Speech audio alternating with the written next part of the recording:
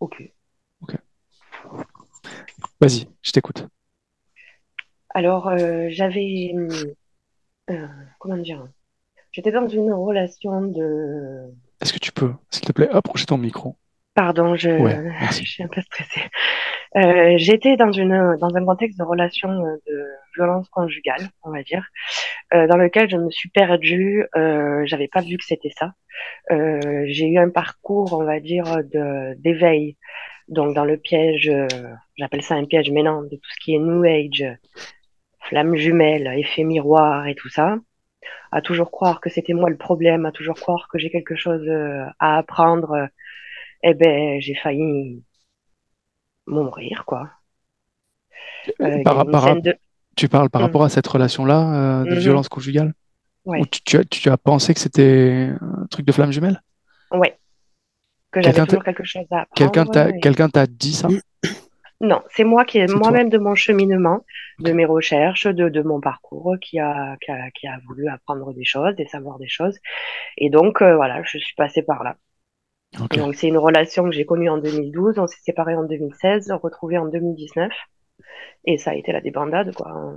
Pendant ces trois quatre ans, ça a été la débandade. Donc, euh, j'étais dans un vraiment mal, mal, mal. Euh, j'étais dans son village à lui, donc euh, j'ai pris contact euh, avec une énergéticienne sur Internet parce que j'étais totalement perdue. Elle m'a reçue euh, quelques jours après. Euh, ça m'a fait énormément de bien.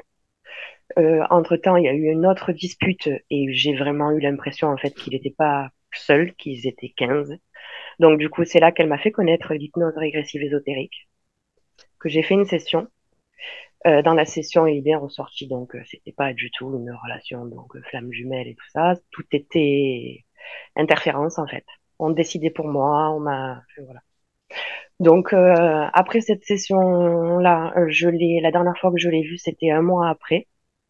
Il y a une scène de violence où j'ai failli finir sur la cuvette des chiottes, quoi. Pardon pour le langage. Euh, donc je l'ai quitté suite à ça parce que je me suis dit la prochaine fois, ben, il va m'avoir. Donc, euh, depuis, je suis hébergée chez mes parents. J'ai un combat sans cesse pour les papiers, pour, euh, pour m'en sortir. Euh, j'ai dû porter plainte contre lui parce qu'il est revenu à la charge en septembre. Euh, et dernièrement, euh, mon combat est que je, je dois toujours me battre sans cesse. Le moindre bonheur que je puisse avoir, même de moi-même m'auto-guérir ou d'être contente, j'ai l'impression qu'on veuille. Ben non, il faut pas qu'elle soit contente, celle-là. Il faut surtout pas qu'elle ait un peu de bonheur, ni qu'elle s'auto-guérisse, ni... Vous voyez ce que je veux dire? Euh, et dernièrement, il y a eu un décès. Je suis quelqu'un qui ressent énormément les choses, énormément. Euh, j'entends, je, j'ai des j'ai radiofréquences, euh, ça fait dans mes oreilles à des moments, euh, c'est violent. Il y a des sifflements, euh, j'ai l'impression d'être euh, immobilisée, comme je disais à ma sœur, comme je vous ai écrit sur le mail. On veut m'immobiliser, en fait, physiquement, psychiquement, euh, me faire du mal sans arrêt. euh, voilà. Euh, et donc là, il y a eu un décès et je pense que c'est lié complètement. euh, parce que j'ai une chute. Ah oui, j'ai chuté encore. Je me blesse, me blesse sans arrêt des blessures, des fractures, des déchirures chaque année depuis 2014. Je pensais que je m'en étais sortie. Et là, non, baf. Euh, le 28 janvier, je suis tombée de la terrasse à ma sœur pompiers, euh, j'ai été à l'hôpital, ils m'ont opéré, ils ont vu qu'une seule fracture. Quand je suis sortie de là, enfin, avant de sortir, je leur ai dit que j'avais vraiment mal à ma main. Ils m'ont pas fait l'examen. J'ai une troisième fracture. Euh, J'ai une broche. J'aimerais savoir si cette broche, elle est saine. Enfin, voilà, j'aimerais être tranquille, être heureuse, être bien. Je, voilà. Je, je sais pas trop quoi, là. Plus quoi dire, quoi, parce que je sais que tout est lié, de toute façon, ouais, euh, quand il y a quelque chose qui bloque, euh, Alors, cette session, euh, tu l'as faite en 2022, c'est ça? oui, octobre de vi- 2022. Euh, tu étais encore avec cette personne? Oui. Qu'est-ce qu'est-ce qu'elle a changé? Est-ce que ça a changé des choses, ça, d'avoir fait cette session ou pas Oui, spécialement? Ouais, oui, ben ça a changé que j'ai pris la décision de ne plus jamais le revoir. ouais. Et déjà, premièrement, que j'avais pas à vivre euh, ça.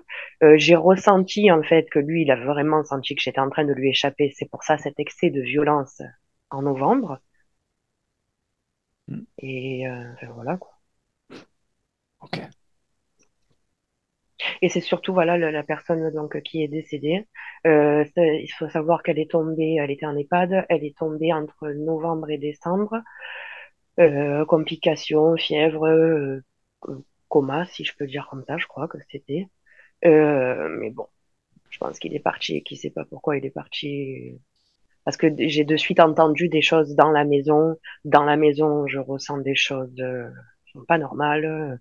J'aimerais qu'on le voie aussi au niveau de la maison, donc de chez mes parents. euh, Du style. je, je- bah, du style, euh, comme j'ai écrit entre parenthèses, il y a, il y a eu un peu des prières, euh, genre pour qu'il soit donc libéré en paix, euh, sauf que je pense pas quoi, que ça a été bon, quoi, Mhm. parce que je ressens une énergie très très basse dans la maison.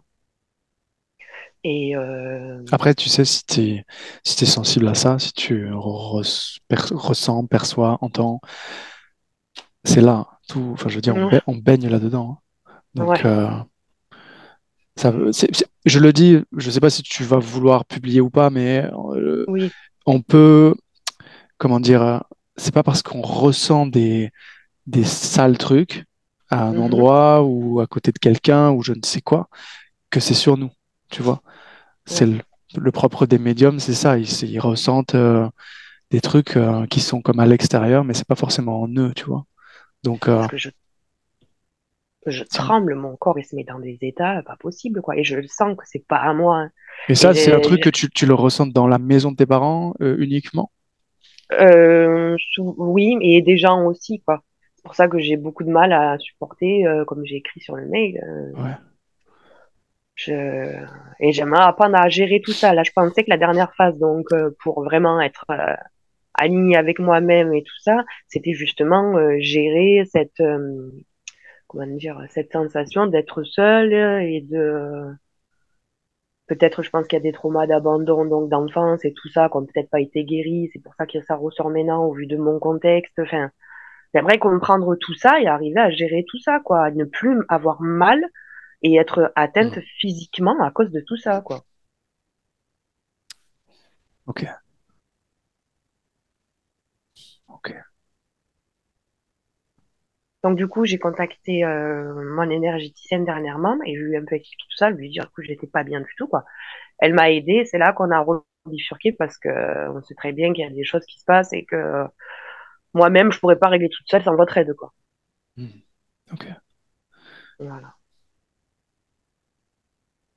Et il y a un point, voilà, qui a été par rapport à mon nom, Ouais. s'il y a une interférence, voilà. Je j'aimerais bien vérifier celle-ci. euh, dans le mail que je vous ai envoyé,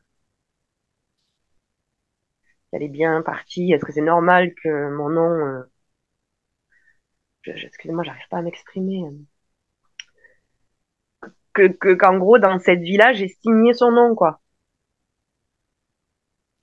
Alors attends, ça c'est une ce ça c'est une, c'est une info qui m'a échappé là. Du coup, je regarde en même temps le Ah, mail. putain, les- Je sais pas de quoi tu me parles.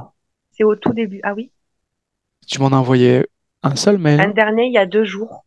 Ah, Il y a deux jours, je vous en ai renvoyé un complet, où justement, je savais très bien que là, j'allais me perdre. Même si j'écris, je, je vais me perdre, donc je vous avais envoyé un truc. Euh, ok, je le vois. Bon, il est passé à la trappe celui-là, je l'ai pas vu. Ah Ok. mince, Bon, pardon. c'est pas grave, je le lis en, en même temps. C'est euh, ok.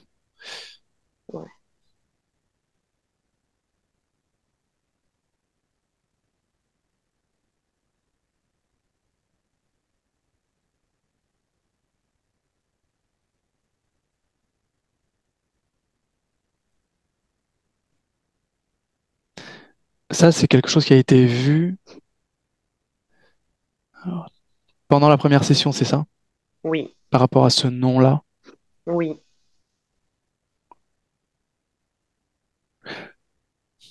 Pourquoi, pourquoi tu veux vérifier cette info-là? Puisque c'est quelque chose qui, du coup, est passé. Euh, je sais pas, je me sens liée encore. J'ai un doute. Ok. Si, si, si, si. Je, comprends ce que, ce que vous voulez dire, mais je ne sais pas, j'ai doute. Hmm.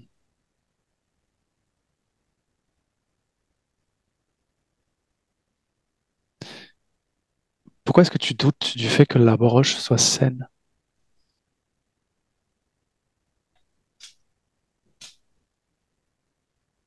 C'est comme des doutes qui, sont présents en toi et tu ne sais pas les justifier?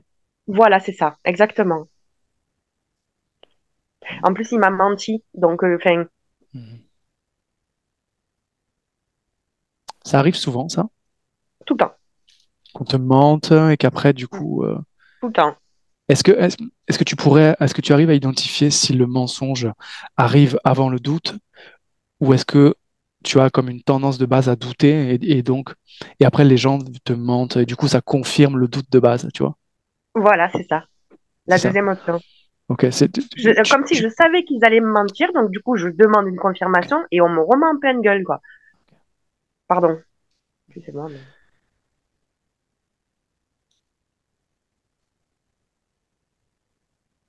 ok.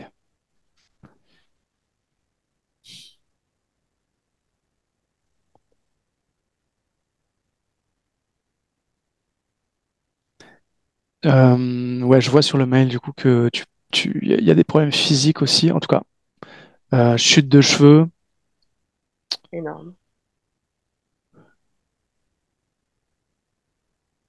ça c'est des choses qui ont toujours été? Euh, oui, mais ça s'est accentué là euh, depuis les trois dernières années, quoi. Et ça repousse pas, quoi. Ok.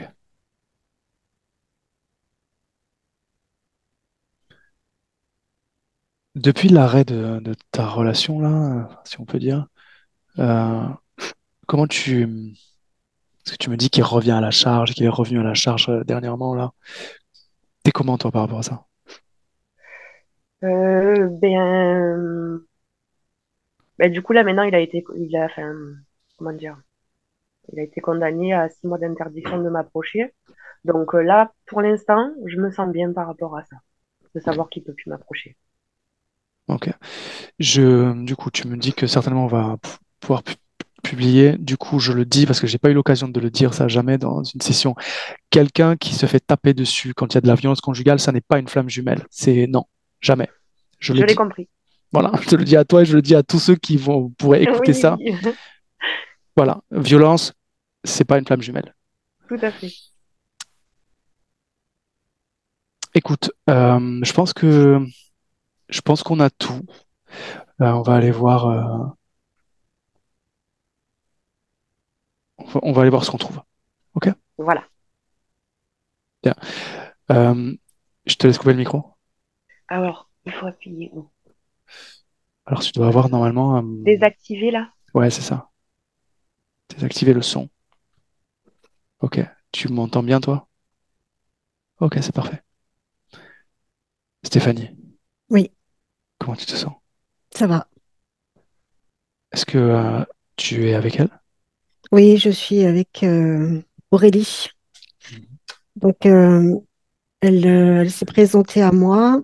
Alors, tout début, elle était comme cachée par une espèce de drap noir. Après, elle a juste simplement euh, relevé euh, la partie de devant pour que je puisse voir son, visage. Donc, c'était bien elle. Elle m'a montré qu'elle était blessée sur euh, la joue, comme si elle avait été griffée. Donc je voyais des griffes, effectivement. Et devant elle, je voyais simplement une main avec des griffes au bout. Voilà.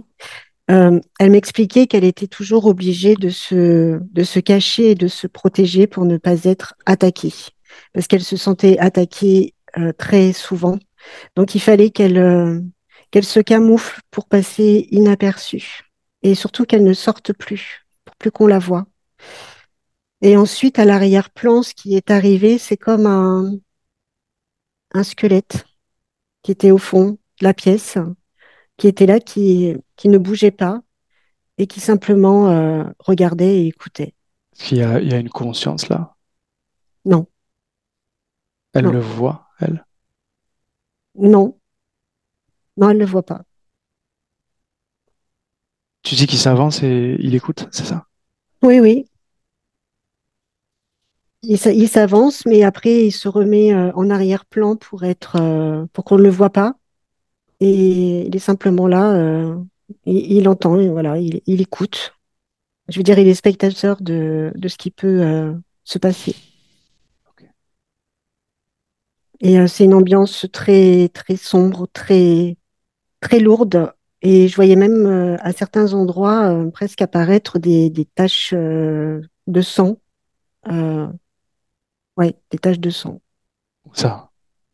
sur les murs de la pièce où elle est. Est-ce qu'elle euh, sait ce qu'on vient faire là?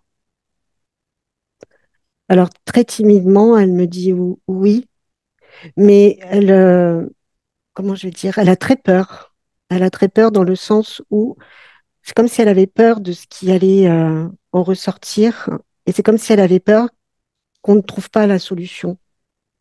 Comme si elle se sentait en fait piégée et enfermée dans ce qu'elle pouvait vivre et que elle pourrait jamais s'en sortir.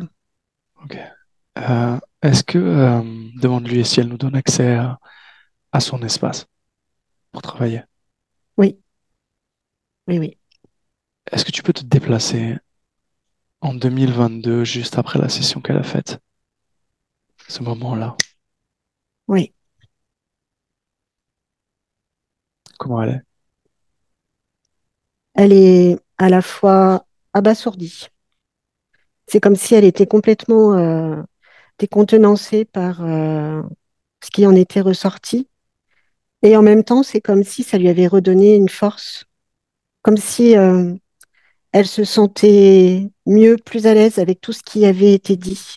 À ce moment-là, c'est comme si elle était, euh, je vais dire, partagée en deux, mais elle a pris le choix, elle, a- elle a pris euh, sa décision parce qu'il y a eu comme une impulsion, comme un regain d'énergie, quelque chose qui l'a amené à justement euh, prendre soin d'elle et soigner ses blessures. Donc, il Mhm. fallait passer à l'action. Et c'est comme si tout avait été très vite, comme si elle l'avait fait euh, très rapidement et qu'il y a des choses qui n'avaient pas été, euh, comme si elle n'avait pas pris le temps en fait de conscientiser tout ce qui se passait. C'est comme si elle était spectatrice elle-même de ce, de ce qu'elle faisait. Qu'est-ce qu'elle a fait très vite? Toutes les décisions qu'elle a prises ont été très vite. C'est comme s'il fallait partir, fuir, se séparer de tout, mettre tout dans une valise. Je la vois ramasser des affaires et c'était partir, partir, prendre la fuite. Et en même temps, quand je la vois mettre ses affaires, tu vois, j'ai une partie d'elle qui est en arrière et qui, qui, qui regarde, comme si elle n'était pas, elle était pas dans l'histoire, comme si elle ne, elle ne vivait pas, elle ne ressentait pas complètement tout ce qu'elle vivait, comme s'il y avait une dissociation. Ok. Cette partie qui reste euh, spectatrice, qui n'est pas dans la fuite, qu'est-ce qu'elle ressent, elle? Elles se sont perdues. Elles se sont perdues et comme si elles euh, ne pouvaient pas euh, agir. En fait, cette partie-là se dit que c'est pas que c'est pas elle qui prend cette décision. C'est comme si elle était en désaccord avec l'autre partie, comme si c'était pas ce qu'elle voulait vraiment au fond d'elle, parce qu'elle n'a pas pris le temps. Là, cette partie-là me dit mais j'ai pas pris le temps en fait. Tout a été trop vite, Si tu les, si, si ces deux parties, tu les sépares distinctement et que tu les répartis en, comment dire, pourcentage. Oui, Celle qui reste en retrait, qui observe, oui, elle composerait combien d'un pourcentage euh, d'Aurélie? 20%. Et l'autre, du coup, 80%, celle dans la fuite? oui. Qu'est-ce que ça crée euh, comme énergie chez elle, en elle, le fait d'être comme coupé en deux? C'est pas, euh, tu vois ce que je veux dire? Oui, oui. bah, ça crée un sentiment de ne pas être complètement euh, dans sa vie. C'est comme si euh, il y avait, euh, si on décidait pour elle, comme si elle n'était pas vraiment en, en- en accord avec tout ce qui se passait. C'est comme si elle se sentait un peu poussée à le faire. Et cette partie-là, là, les, les 20%, elle a l'impression aussi de Pourquoi elles se abandonnée poussées à le faire? Parce qu'elle ne se sentait pas capable. Comment ça? Ces 20%, c'est- dans ces 20% là d'Aurélie, c'est euh, c'est pas moi, je suis pas capable de faire ça parce que je suis pas. Il y a, dans les 20%, il y a cette notion d'être euh, d'être nul, d'être incapable, de pas être euh, quelqu'un de bien et donc de pas pouvoir prendre ses propres décisions pour son bien-être en fait. Et dans les 80% du coup? Dans ces 80%, il y a beaucoup de, je vais dire, de, de, de, de rage, de colère, de, d'envie de se battre jusqu'au bout, de, d'en finir avec tout ça et de s'échapper, de s'échapper de cette vie-là. Ok. Dans cet espace-là, quand euh, elle sort de cette session, Mm. est-ce qu'elle est libre dans son espace? Non, non, parce que derrière, j'entends, j'entends, euh, comme si j'entendais des, des voix qui, qui lui soufflaient des choses, qui l'a, comme si quelqu'un l'a, l'a poussé justement, comme Est-ce s'il que est-ce avait, que euh, est-ce que c'est connecté à elle, ça? oui, Est-ce que c'est connecté à la totalité d'Aurélie? non, ces 20% que je percevais, euh, sont en dehors de ce que je peux percevoir sur les 80%. C'est comme s'il y avait un chien de garde en fait, Tu veux dire que ce- cette présence-là, elle est connectée aux 20% ou aux 80%? aux 80%. Comment se fait-il alors que si ce parasite est encore sur les 80%, elle trouve dans ces 80% ce courage, cette force de, cette impulsion pour euh, foutre le camp, se sortir de sa merde. Parce que c'est dans ce que dans ce qui lui est insufflé en fait, euh, et j'ai vraiment cette représentation d'un chien, euh, d'un chien qui est là, Mm. euh, qui qui en fait fait ça pour. il y a cette notion de protection, c'est-à-dire que si tu t'en vas, moi je te donne cette force et en même temps moi je te protège. Il y a comme un espèce de, je vais pas dire de deal, mais euh, il y a quand même cette notion de euh, si tu oses le faire, si tu le fais, tu verras, je serai toujours là pour toi et tu ne manqueras de rien. Pourquoi ça n'a pas été, euh, pourquoi tout n'a pas été enlevé quand elle a fait sa session? Parce qu'il est pas, il n'avait pas pris ce- cette représentation-là. Euh, moi, quand je le vois euh, dans la session, c'était, euh, je vais dire, quelque chose de plutôt aimable et sympathique, presque comme s'il avait pu se fondre avec une, émotion particulière, hein, justement cette émotion de alors, il est lié à l'émotion de la colère, mais c'est comme s'il avait pu se dissimuler et tout simplement dire qu'il serait là pour l'accompagner. En fait, il est passé complètement euh, inaperçu et comme quelque chose de positif.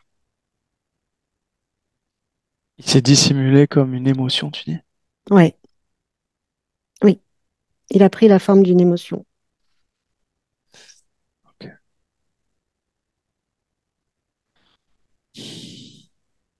Ok.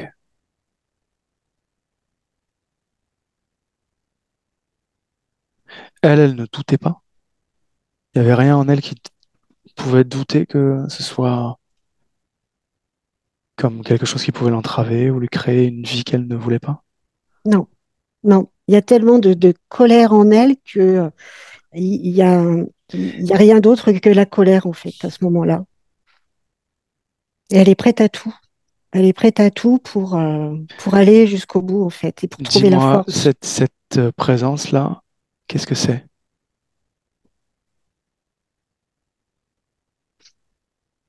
Alors moi, j'ai cette, es- cette espèce de forme de, de, je vais dire, de loup. Ça ressemble à un loup. Hmm. Un loup avec des longues griffes. Est-ce que ça, ça lui est euh, facile de se dissimuler comme une émotion positive? Oui, complètement.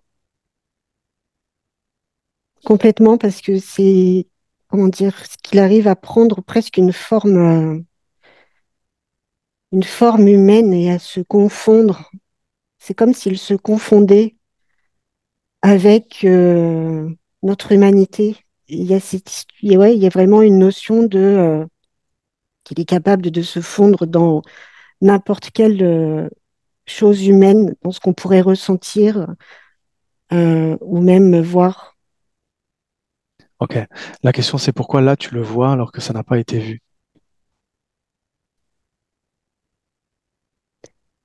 Parce que euh, les, c'est les 20% de, d'Aurélie, en fait, qui, euh, qui me montrent cette, euh, cette scène. Quand euh, je la voyais faire ses valises avec euh, cet être derrière. La session qu'elle a faite euh, a comme libéré ces 20% là. Oui, tout à fait. C'est parce que ces 20% sont libres et autonomes qu'on peut voir euh, ce truc-là. Oui. Pourquoi alors, si ces 20%-là sont libres, elle ne se démerde pas toute seule? Elle, elle, elle a fait une session déjà, donc elle a compris un peu le, le système interférent, le, comment on s'en débarrasse. Pourquoi elle ne le fait pas toute seule? Parce que c'est trop, c'est trop impressionnant. Si tu veux, ces 20%, en plus, ils sont vraiment représentés de façon à ce que Aurélie se sent encore trop petite euh, et trop faible, pas assez puissante Est-ce qu'elle se euh, sent faible dégager. du fait que... ah, Comment dire? Est-ce qu'elle se sent faible parce qu'elle n'est que 20% d'elle-même, donc une minorité d'elle-même, ou est-ce qu'elle se sent faible parce que ces 20%-là sont engrammés par peut-être des émotions ou des mémoires qui, qui la feraient se sentir faible?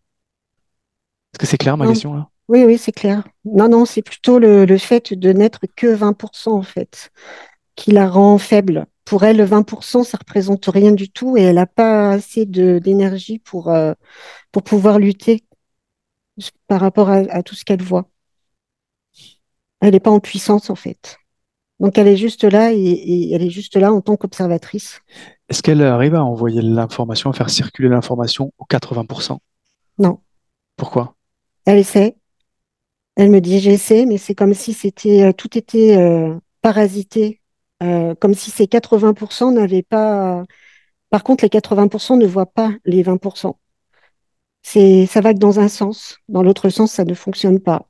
Parce qu'il y a cette espèce de, de, de chose là qui, qui a une emprise sur Aurélie 80% et qui, qui la maintient dans quelque chose de, de trop directif, de trop désagréable. Il y a des émotions très désagréables. Et les 20% ne sont pas du tout dans, dans, dans ces mêmes, je vais dire, dans ces mêmes énergies. Euh, et donc, elle n'arrive pas à avoir accès à, aux, aux énergies d'Aurélie à 80%. Il y a quelque chose qui l'empêche de le faire. ok. Déplace-toi dans le présent. Reviens dans le présent. Oui, j'y suis. Est-ce que la configuration est la même? Oui, Toujours cette séparation 20%, 80%? oui, oui, tout à fait. Cette euh, scène que tu as vue quand tu t'es connecté à elle, où elle a un, elle a un, un tissu noir, Mm, mm, il y a un squelette ou je ne sais plus quoi. mm. Là, tu as accès à quelle partie d'elle? Là, c'est les 80%. Les 20% sont toujours euh, en retrait. Ils sont là. Ils sont là, juste à côté. Ils regardent. Et euh, chez ces 20%, il y a beaucoup de tristesse parce que euh, elle aimerait venir en aide, en fait, à l'autre partie. Elle voit, elle, elle voit, elle ressent tout ce qui se passe, mais elle ne peut pas agir, en fait. C'est comme si elle était euh, juste, elle regarde et elle aussi, en fait, elle subit ce qui se passe. Ok, dans cet espace, tu me disais qu'il y avait une, comme une, une main avec des griffes, c'est ça? Oui, Et un squelette dans le fond? oui. Cette main avec des griffes, qu'est-ce que c'est? Bah, c'est ce- c'est cette même chose que j'ai vue euh, tout à l'heure. Le squelette, qu'est-ce que c'est?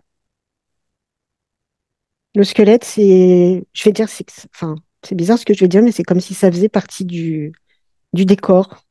C'est juste euh, une pièce, un objet euh, posé là. Mais lui, euh, c'est comme s'il ne servait à rien. C'est comme si euh, c'était là simplement pour faire peur, pour regarder cette atmosphère euh, noire, sombre, et euh, simplement pour faire peur, en fait, à Aurélie.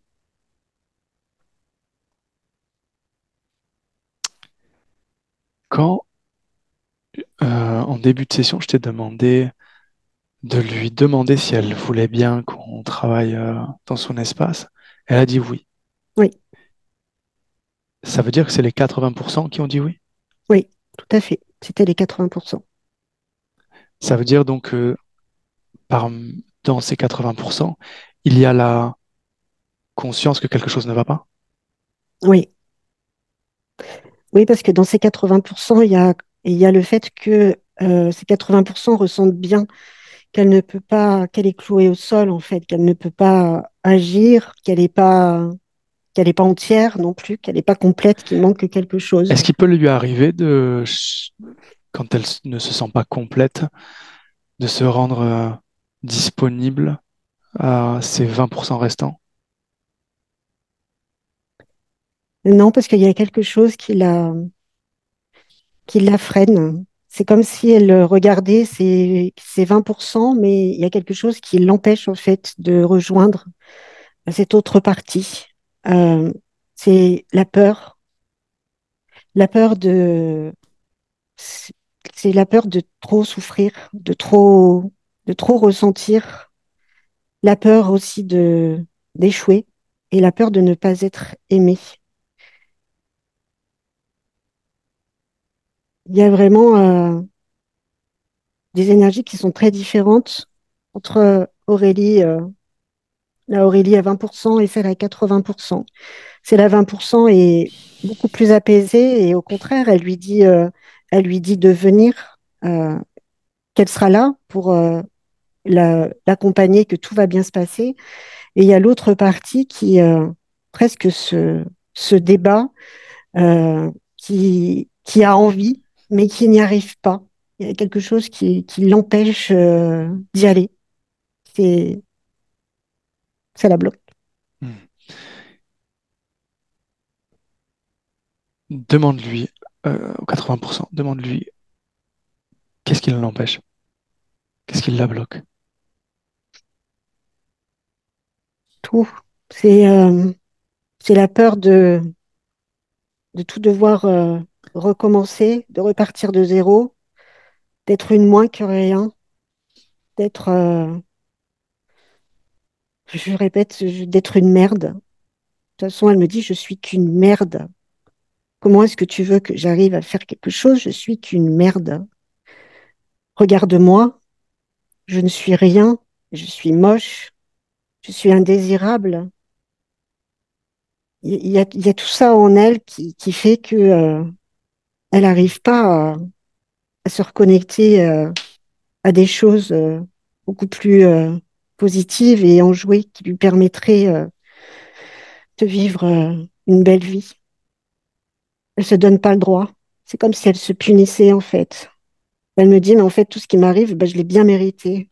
Je l'ai bien cherché. J'avais qu'à ouvrir les yeux avant. Je suis trop conne. est-ce qu'elle a conscience qu'elle n'est pas seule? Elle sait qu'elle n'est pas seule, mais elle veut pas savoir. Cherche pas à savoir. Elle préfère ne pas voir. Préfère rester cachée. Pourquoi? C'est plus, facile. Parce Parce que qu'elle a peur de tomber, parce qu'elle a peur de tomber encore sur, euh, sur quelque chose qui va, qui va la décevoir. C'est comme si elle ne faisait plus confiance à rien du tout. Dis-lui que c'est parce qu'elle est comme ça qu'elle tombe sur euh, des choses, des gens qui la déçoivent. C'est précisément parce qu'elle est dans cet état-là. Est-ce qu'elle comprend ça ou pas du tout? Oui, elle l'entend. Et elle me dit, ben, que faire? Qu'est-ce que je dois faire? ok. On peut lui donner des pistes si elle veut. Essayer des trucs. Oui, Elle veut bien? elle- oui, elle veut.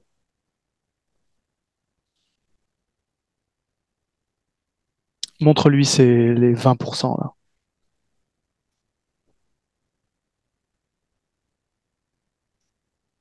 Elle les voit.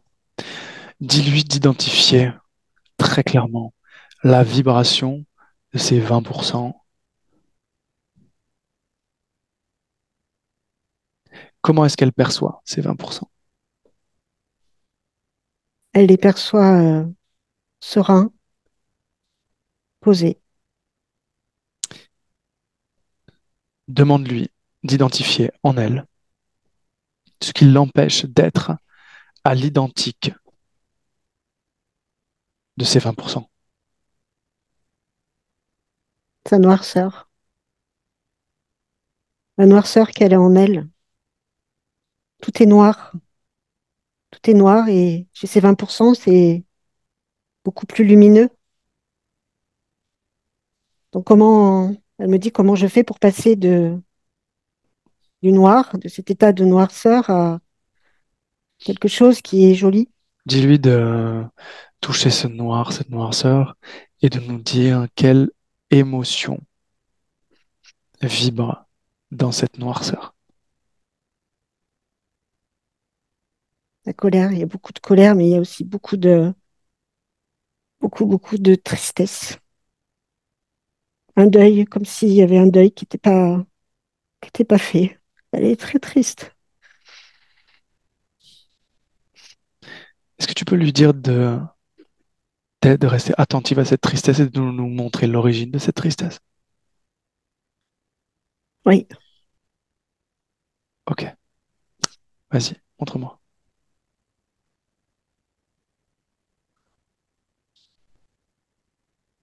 Elle me dit qu'elle se sent très seule. Là, je la vois petite fille. Elle se sent très seule et mal aimée, comme si euh, c'est comme si en fait elle n'avait pas réellement euh, connu euh, ses, ses vrais parents, quelque chose qui qui lui manque. Elle voit bien qu'on fait comme si elle n'était pas toujours là.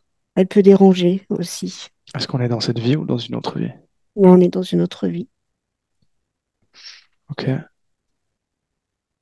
Elle sait qu'elle n'a pas été euh, une enfant désirée, on lui fait bien ressentir. Dans le sens où euh, il y a eu de la violence de la part de sa maman surtout. Sa maman qui l'a complètement euh, rejetée, qui l'a dénigrée, qui l'a frappée.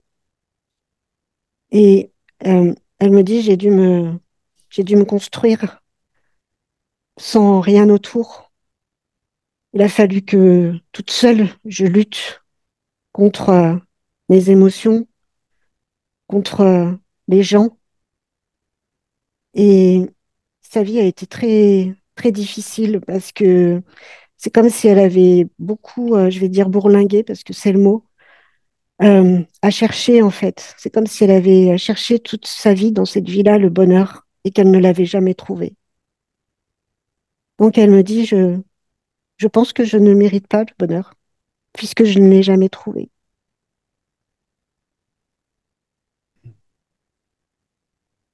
Et ce deuil, en fait, c'est le deuil de, c'est le deuil d'une, presque le deuil d'une vie que qu'elle aurait aimé avoir et qu'elle n'a jamais eu. Le deuil de quoi? Du bonheur? Ouais. Oui. C'est comme si elle avait fait une croix sur euh, le bonheur et qu'il fallait que bah, elle en fasse le deuil puisque c'est pas pour elle, c'est pas pour elle. Entre cette vie-là et celle euh, d'Aurélie, combien elle a fait de vie? J'en ai une seule. Est-ce qu'à ce moment-là, elle est libre dans son espace ou, euh, ou pas? Dans cette vie entre les deux, j'ai euh, j'ai cette notion où elle a trouvé, euh, qu'elle a touché du doigt le bonheur. Elle l'a touché du doigt, mais c'est comme si dans cette vie-là, elle s'était euh, empêchée de le vivre euh, complètement parce que euh, elle avait l'impression que on se moquait d'elle, que c'était pas vrai, qu'on l'aimait, mais on lui disait qu'on l'aimait, mais elle se posait beaucoup de questions par rapport à ça. Elle ne savait pas en fait. C'est comme si elle ne savait pas interpréter euh, les émotions et euh, qu'il n'y avait pas de définition sur le mot euh, bonheur. Dans cette scène, quand elle est dans cette vie-là, quand elle est enfant, sur le plan subliminal, regarde-la, dis-moi si elle est parfaitement libre à ce moment-là, ou si tu détectes une présence étrangère. Non, moi je la vois, euh, je la vois libre. C'est un choix qu'elle a fait de, d'expérimenter ce type de, de vie là? Bah, un choix, euh, non, parce que elle me dit, moi, quand je suis, euh, quand j'ai voulu m'incarner, c'était pas, c'était pas vraiment comme ça que je l'avais euh, imaginé. Euh, c'est euh, le bonheur, elle avait, elle sait, elle savait ce que c'était le, c'est comme si elle savait ce que c'était le bonheur en fait, et que là, elle me dit, euh, ben, j'ai simplement été euh, leurrée. Euh, Elle, savait ce que c'était, mais là, il n'y était plus. oui, tout à Et, fait, et elle ne le trouvait pas. oui.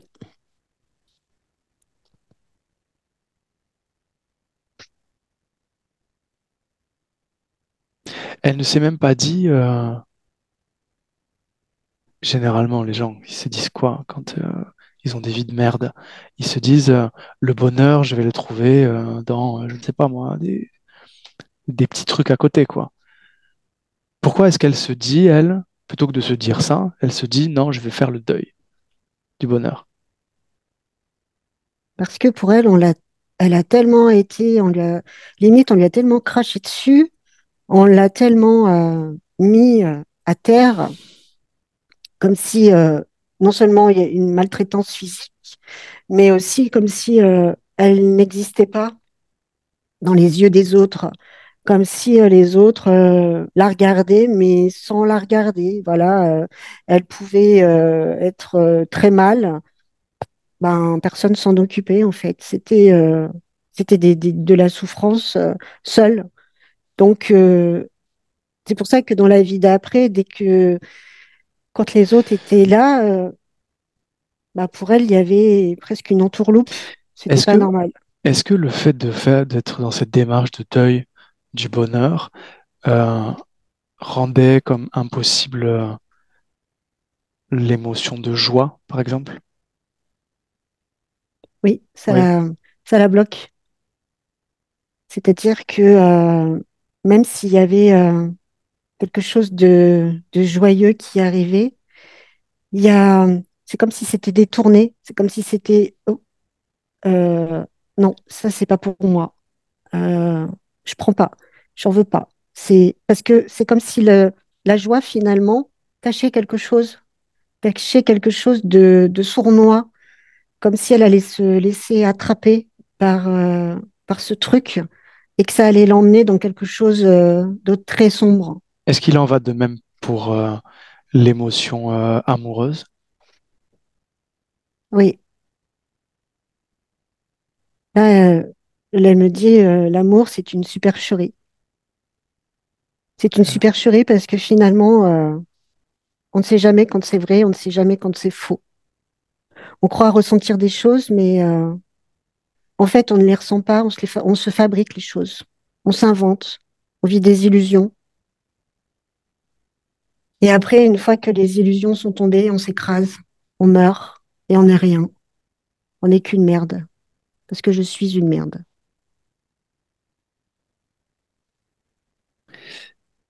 Ça, là, euh, avant cette vie, est-ce que ça existait en elle? Non, Elle était comment avant cette vie-là? elle était euh, très sensible. Elle était, euh, elle aimait beaucoup euh, les gens, mais les gens lui faisaient un petit peu peur. C'est-à-dire que elle, euh, elle ressentait beaucoup les choses et elle avait comme appris à s'en protéger. à rester un peu à l'écart, à simplement être une observatrice. Voilà. Et c'est comme si elle picorait. Elle me dit, je picorais en fait les émotions. Elle, euh, presque comme si elle savait les choisir, les trier, ne pas tout prendre, mais simplement goûter euh, pour euh, pour voir ce que ça faisait. Elle, elle était comment je, vais dire. Elle était beaucoup plus tournée vers les autres que, vers elle-même. Je la vois très souriante, très jolie, euh, à toujours euh, faire euh, être bien élevée, voilà, toujours euh, montrer euh, le meilleur d'elle-même. Et encore avec cette notion de, de cacher, de cacher ce qu'elle pouvait ressentir. Il y avait simplement une façade, mais les, les choses ne résonnaient pas à l'intérieur d'elle-même. Elle se, elle se limitait, elle s'empêchait en fait de ressentir complètement. Est-ce qu'il y a eu des vies où elle ne s'empêchait pas, elle ne se limitait pas?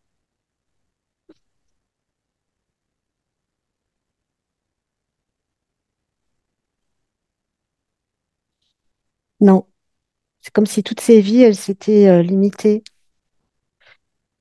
plus ou moins Pourquoi? intensément.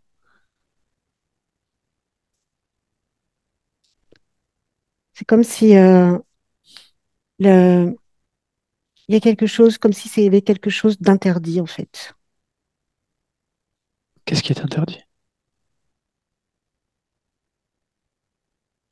C'est presque interdit de d'être euh, libre. Il y a cette euh, notion de s'interdire d'être libre. Pourquoi?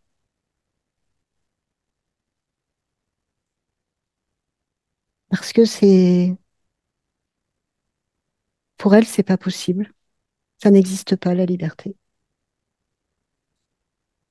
Sur le plan terrestre ou euh, dans l'absolu? Sur le plan terrestre.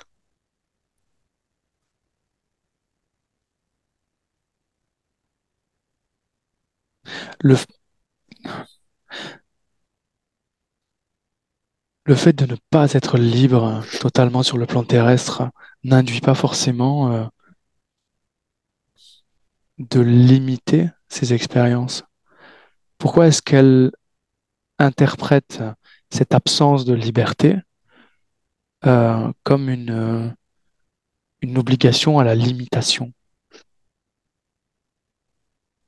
Elle a l'impression que c'est plus confortable, que c'est moins douloureux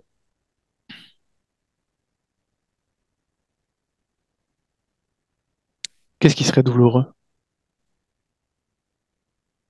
de mourir.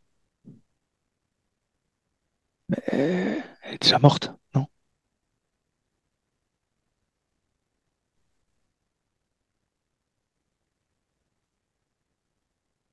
De toute évidence, elle est morte plusieurs fois, même. Oui. Bah alors,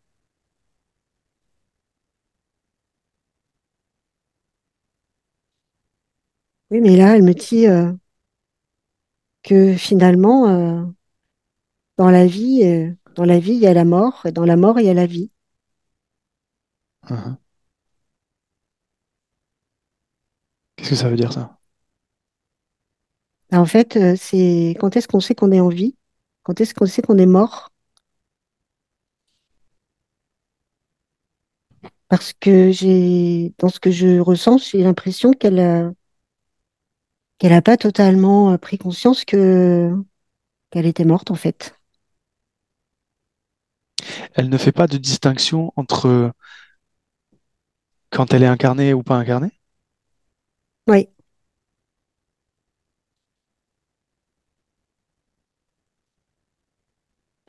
Trouve-la à un moment où elle n'est pas incarnée.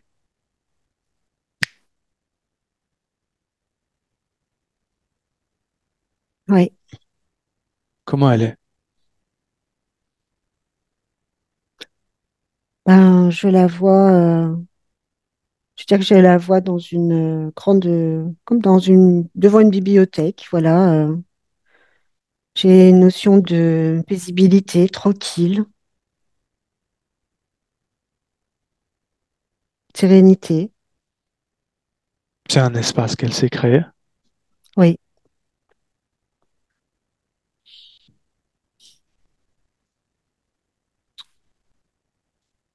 Dans cet espace-là, est-ce qu'elle se sent libre? complètement. Quand elle est incarnée, elle ne se sent pas libre? Non, Donc elle fait le distinguo. oui,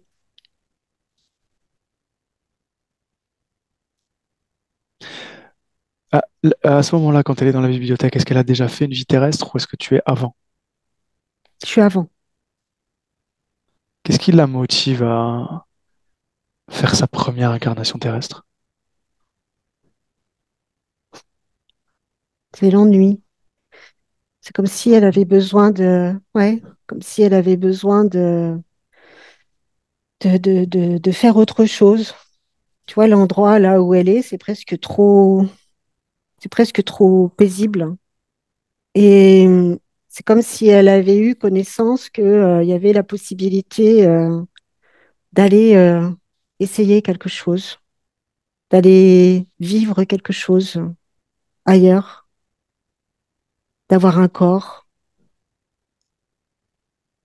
Est-ce qu'elle a fait, ressentir. est-ce qu'elle a fait des, des expériences d'incarnation euh, ailleurs, dans d'autres euh, euh, espèces, corps, je sais pas comment dire.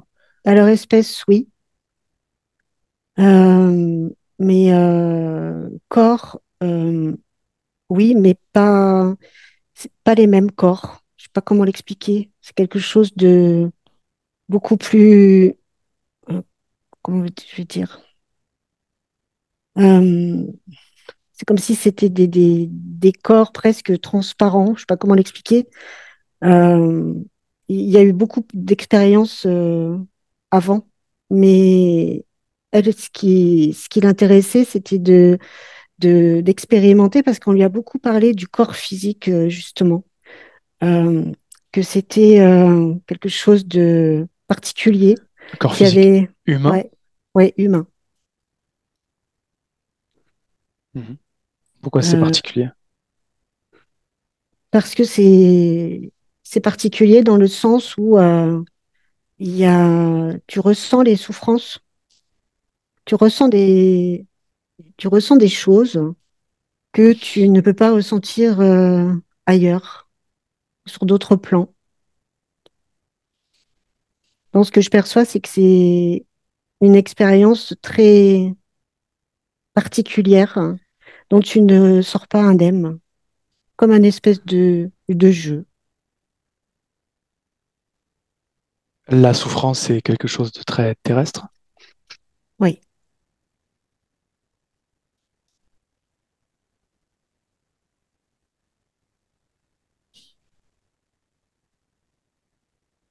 là où je suis, oui, c'est perçu comme Elle en a, elle en a eu l'information, elle s'est dit, euh, pourquoi pas essayer?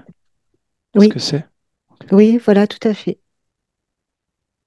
Parce que bah, à ce moment-là, elle ne sait pas du tout ce que c'est, mais Qu- Quand elle décide de s'incarner dans son, sa première expérience terrestre, est-ce qu'elle avait comme euh, idée, parce que tu me dis, elle avait idée que oui, la souffrance et tout, euh, mm, voilà, mais est-ce qu'elle avait idée que elle serait comme coincée dans ce corps humain euh, extrêmement limité par cette matière euh, dense là?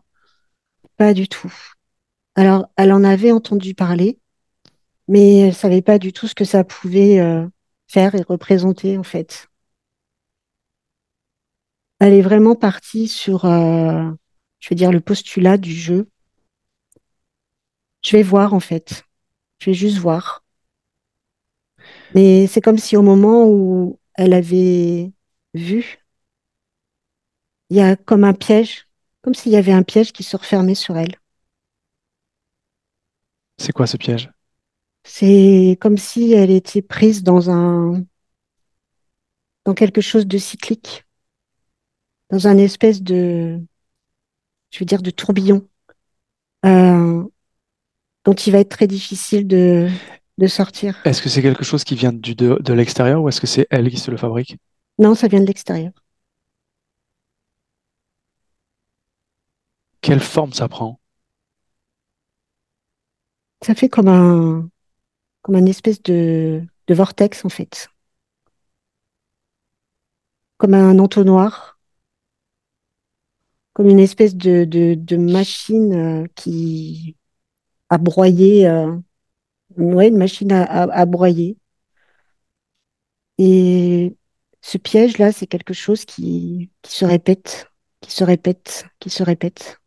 Et qui, en même temps, quand on est dedans, insuffle des, des, des, des choses, des, comme des paramètres, comme Est-ce que c'est elle qui, est-ce que c'est elle qui entre dans le piège ou est-ce que c'est le piège qui entre en elle? Non, c'est elle qui, du coup, euh, se fait piéger.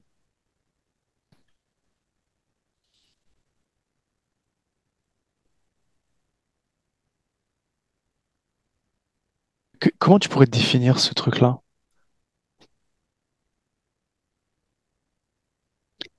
Je pourrais le définir comme un, comment je vais dire, quelque chose qui, tourne, qui tourne, euh, qui, en même temps, euh, comment je vais, dire, c'est comme s'il y avait des informations qui, arrivaient, je vois comme des espèces de, de, de, de codes, oui, des codes, comme s'il y avait un, un, paramétrage, je vais dire, de certaines euh, Tu données, veux, des tu veux dire, données. tu veux dire qu'elle elle se fait reformater?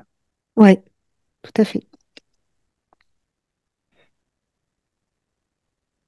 Une fois que le- elle a été euh, reformatée euh, avec ces nouvelles infos, ce, ce que tu appelles ce piège-là, est-ce qu'il reste? Ou est-ce que ça se dissipe et qu'il ne reste que l'information? Non, il se dissipe et il n'y a plus que l'information. Elle est, ok, c'est comme si elle est, on l'avait trempée dans, dans un truc, Oui, elle a changé de couleur et puis, euh, tout à fait. ok.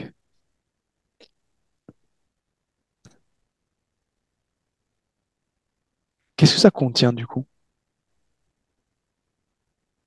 Comme information, comme reprogrammation?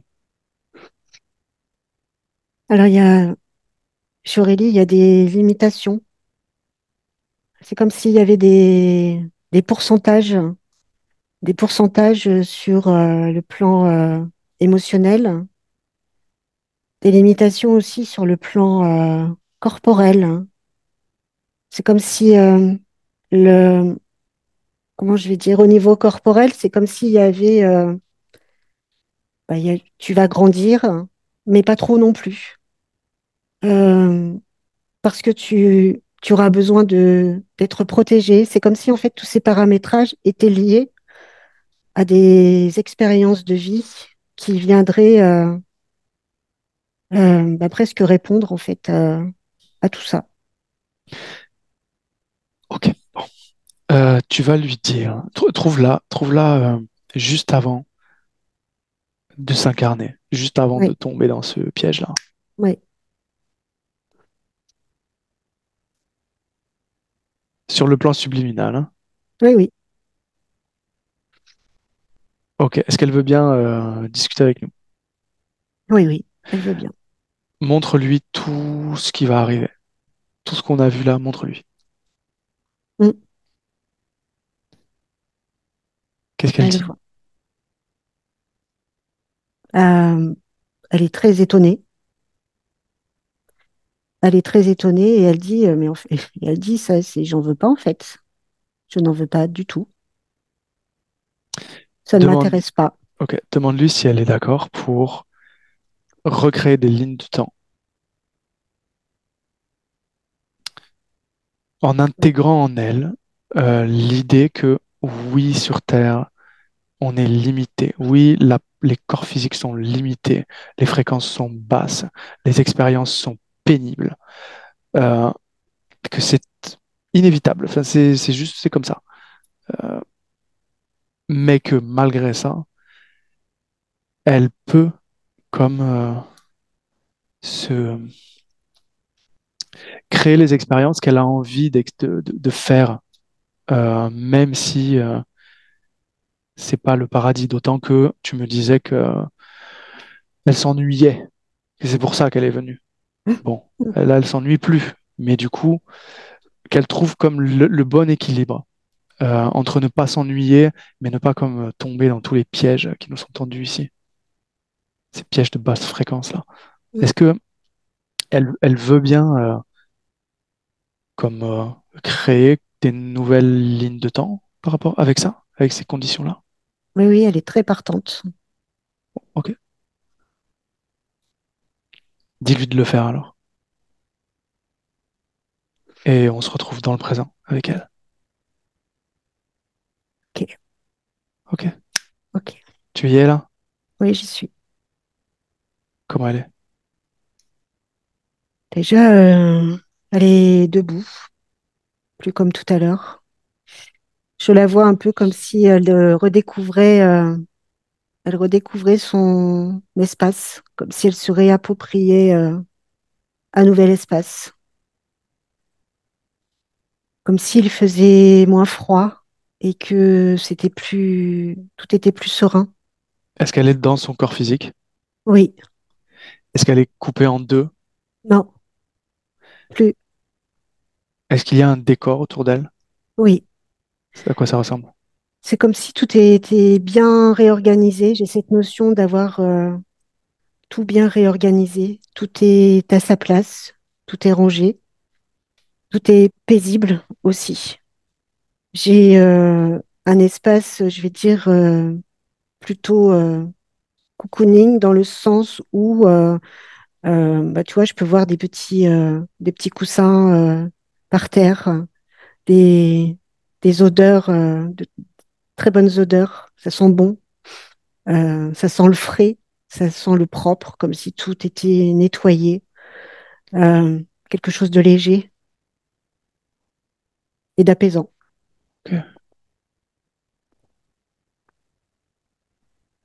Émotionnellement, c'est quoi la- la- l'émotion principale? Alors, j'ai j'ai déjà un premier mot qui me vient, c'est pas une émotion, mais j'ai le mot découverte. Mhm. Et au niveau des émotions, c'est, euh, comment je vais dire? C'est comme si avec le mot découverte, il y allait y avoir des, une nouvelle euh, représentation des, des émotions et des sensations. C'est comme si euh, là, ce qui, ce qui circulait en elle, c'était quelque chose de presque nouveau qu'il fallait euh, réapprendre, sur lequel il fallait vraiment se apporter de la concentration pour euh, ressentir ce qui se passe. Mais ce que je peux ressentir tout de suite, c'est vraiment euh, cette notion d'être apaisé et de mieux respirer, l'apaisement. Ok. Dis-lui d'observer le corps physique, Oui, d'observer tous les dysfonctionnements du corps physique. oui.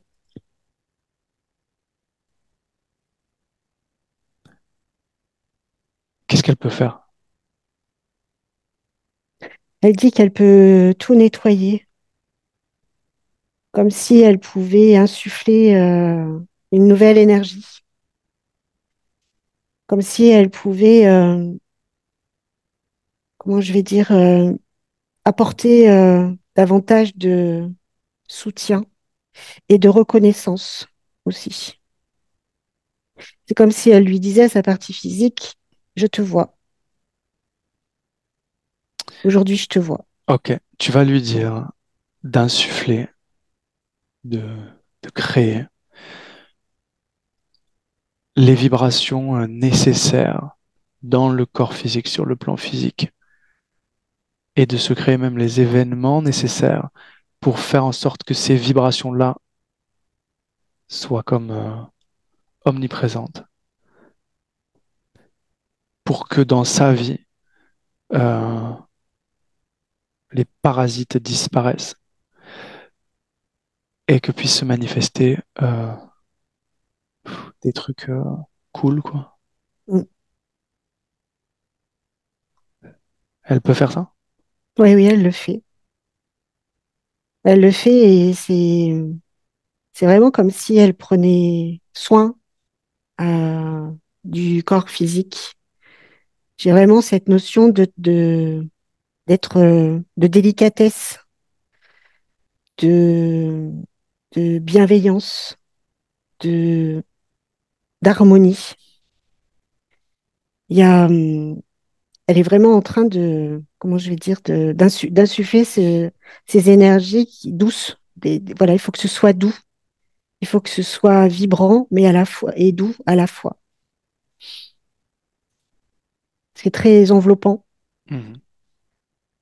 Et ça fait vraiment du bien euh, au corps physique qui se relâche. C'est comme si euh, les tensions euh, s'estompaient.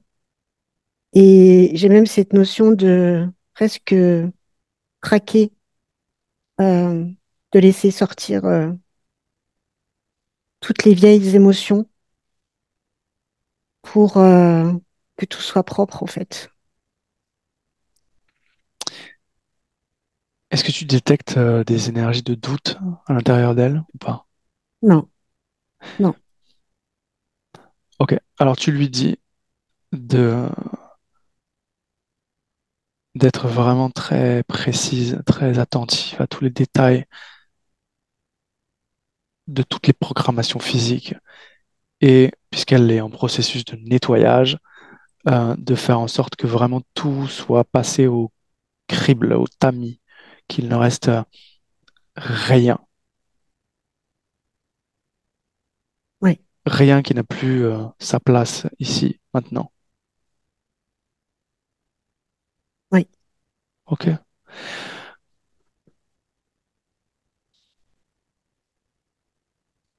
Est-ce que tout est ok? oui, tout est OK.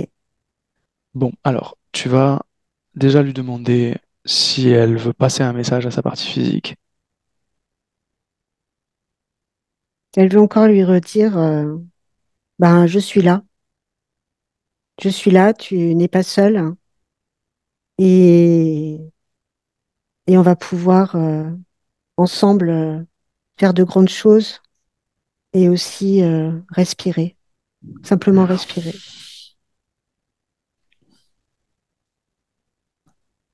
On peut la laisser? On peut la laisser. Ok, tu souhaites bonne route alors et on se Oui, déconnecte. oui, Bien, je compte maintenant de 1 à 3. À 3, tu reviens dans le présent, complètement réveillé. 1, tu es déconnecté de tout et de tous. À 2, tu choisis l'émotion parfaite, la vibration idéale pour cette journée. Tu la crées, tu la fais grandir dans tout ton corps, dans toutes tes cellules. À chaque respiration, elle s'expanse, elle grandit de plus en plus. Et quand tu es prête, Stéphanie, à 3, tu peux revenir dans le présent et tu peux ouvrir les yeux. 3. oui, c'est bon. Ça va? Oui, oui, ça va. Aurélie, tu peux rallumer ton micro. Oui. Mm. Comment tu te sens, Aurélie? Ah ben, un peu enfin, secoué. Un peu secoué. Tu peux, tu peux rapprocher, je t'entends pas. Pardon. Secoué. Ok. Secoué et enfin voilà, j'ai complètement ressenti là, euh, enfin, ce côté de, comment dire, je- j'arrive pas à trouver mes mots, de, de m'apaiser et de, de respirer enfin quoi. Et ce côté du, du loup là, ou de loup, de chien au début, je sais pas trop ce que c'était, mais je le ressentais complètement. Cette, euh, même cette, la façon d'être, la façon de ne pas avoir peur, de, de, euh, complètement quoi. Donc ça m'étonne même pas. Ravi de votre beau travail. Je te repose la question, Aurélie. Est-ce que tu veux partager? Oui. Ouais, Eh bien, flouter, je sais que je crois que c'est flouté automatiquement, ouais. ouais. Ok. Donc oui. Je coupe l'enregistrement. Aurélie, tu restes avec moi, hein, tu pars pas. Euh, Stéphanie, merci, bon après-midi. Ouais, merci. Bonne continuation, Merci Aurélie, et plein de bonnes choses. Merci beaucoup.